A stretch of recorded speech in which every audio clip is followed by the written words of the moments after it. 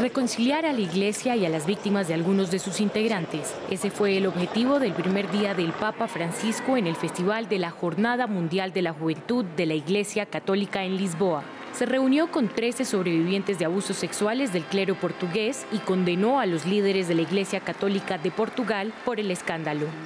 Dijo que sus acciones habían contribuido a ahuyentar a los fieles y ordenó a los miembros de la jerarquía católica que cambiaran su forma de actuar y trataran mejor a las víctimas.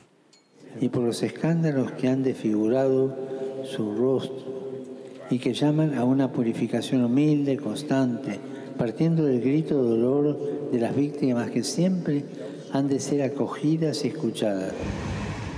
El viaje del pontífice se produce luego que se conociera un informe que revelaba que más de 4.800 niños podrían haber sufrido abusos por parte de sacerdotes y personal eclesiástico desde 1950. Sin embargo, la respuesta de los obispos portugueses a las conclusiones del informe reveló la dificultad del clero para aceptar su responsabilidad.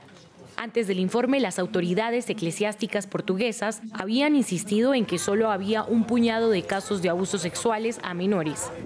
Tras la publicación del documento, los obispos se negaron inicialmente a apartar del ministerio a los abusadores nombrados y dijeron que solo indemnizarían a las víctimas si así lo ordenaban los tribunales. Entre los fieles y el clero visitante, algunos no quieren hablar de ello. Bueno, no creo que esta sea la oportunidad para hablar de estas cosas en este momento. No estoy preparado en absoluto. Definitivamente esperamos que todo lo que está claro, lo que está mal, se detenga y cese. Y el Papa también ha mostrado su compromiso para resolver este problema. En una declaración, la Conferencia Episcopal de Portugal afirma que se compromete a dar prioridad a las víctimas y a trabajar juntos en la reparación y recuperación de las mismas.